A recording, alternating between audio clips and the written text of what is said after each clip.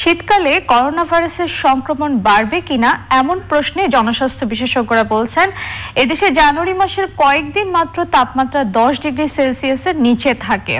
ফলে শীত নয়, বরং শীতের সময় মানুষের আচরণগত কারণে সংক্রমণ বাড়তে পারে। স্বাস্থ্যবিধি মানতে এখন থেকে কার্যকর প্রচার চালানোর পরামর্শ দিয়েছেন তারা। জান্নাতুল বাকিয়া কেকার রিপোর্ট। বাংলাদেশে শীতকাল মূলত ডিসেম্বর থেকে ফেব্রুয়ারির প্রথমার্ধ পর্যন্ত থাকে। তবে নভেম্বরের শেষ থেকে গ্রামাঞ্চলে কিছুটা শীত দেখা দেয়। জনস্বাস্থ্য বিশেষজ্ঞরা বলছেন, শীতের সময় শারীরিক দূরত্ব সহ বিভিন্ন স্বাস্থ্যবিধি মেনে না চলার প্রবণতা বাড়বে। সেই সাথে দরজা জানালা বন্ধ রাখার কারণেও সংক্রমণ বাড়তে পারে। ফলে সেই সময় স্বাস্থ্যবিধি মানা নিশ্চিত করতে কার্যকর ব্যবস্থা নিতে হবে।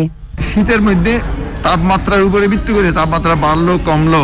এটার উপরে ভিত্তি করে ভাইরাসের উপরে সাংঘাতিক প্রভাব পড়বে না। কিন্তু তাপমাত্রা জনিত কারণে মানুষের আচরণগত পরিবর্তনের কারণে এর প্রভাব পড়তে পারে। ওই সময় শীতের সিদ্ধ যখন হবে, তখন মানুষের আচরণগত পরিবর্তন হয়ে মানুষ গাদাগাদি থাকতে পারে দরজা জানালা বন্ধ করতে পারে, বায়ু প্রবাহ কমাইতে পারে। এইসব কারণে হয়তো ভিন্ন রকম হতে পারে। তবে আমার মনে হয় না, এই আমাদের দেশের মতো যে শীত, এই শীতের শীতজনিত কারণে তাপমাত্রা জনিত কারণে বাড়বে এটা মনে হয় না। আর শীতকালের মধ্যে ভ্যাকসিন পাওয়া যাবে মনে করে যদি স্বাস্থ্যবিধি মানার বিষয়টি শিথিল করে দেয়া হয়, তাতেও ঝুঁকি বাড়বে বলে মনে করেন বিশেষজ্ঞরা।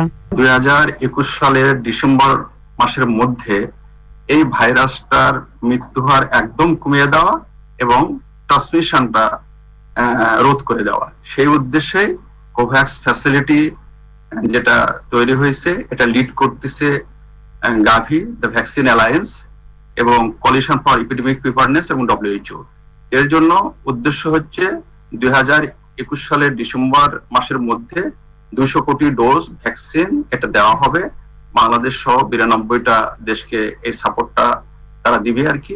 সংশ্লিষ্টরা বলছেন দুই হাজার একুশ সালের মাঝামাঝির আগে ভ্যাকসিন পাওয়ার নিশ্চয়তা নেই।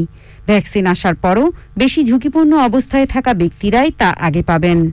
সবার ভ্যাকসিন পেতে অনেক সময় লাগবে তাই করোনা ভাইরাসের সংক্রমণ থেকে রক্ষা পেতে দীর্ঘদিন স্বাস্থ্যবিধি মেনে চলার বিকল্প নেই। Jannatul Bakia Keka channel I, Dhaka.